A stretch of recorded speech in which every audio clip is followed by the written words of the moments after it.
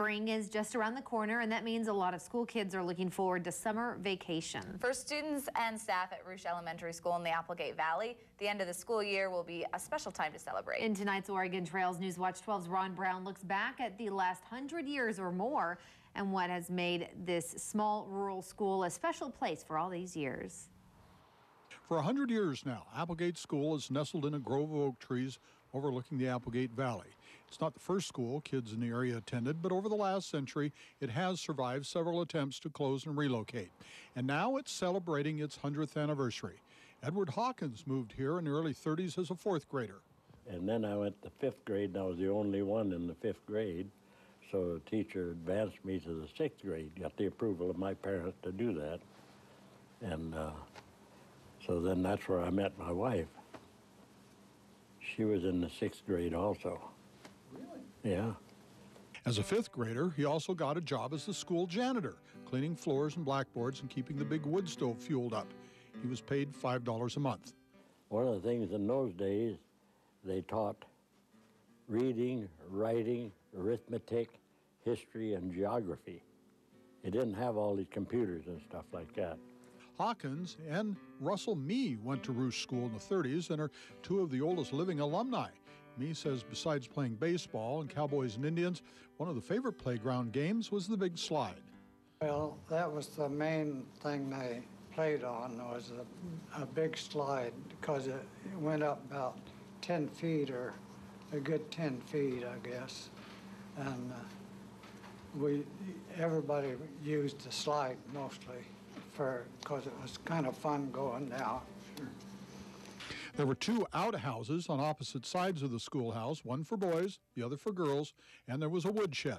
The concrete block schoolhouse is actually the third Ruch school. An earlier frame building replaced a cabin structure on the same site that was built in the early 1870s.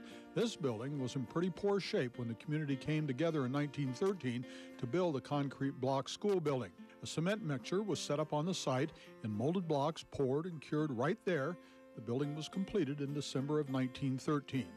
Dedication of the concrete block structure came in May of the next year. It's changed quite a bit over the years, and for most of the pre World War II years, was a one teacher school. For just two years before World War I, there was a two year high school. For this area, they all, most of them were uh, from out here, went to Jacksonville. And at that time, Jacksonville had a a basketball team and stuff. In 1959, Jacksonville and Ruch merged with the Medford School District, creating Medford District 549C, consolidated. Another student from the 60s says many Applegate families have had generations of children attending here. I do have grandchildren here. I had my children here. I have my son here with me today, my youngest son. We serve about 77 percent of the Medford School District geographical areas, which means that our families go um, as far as the California border.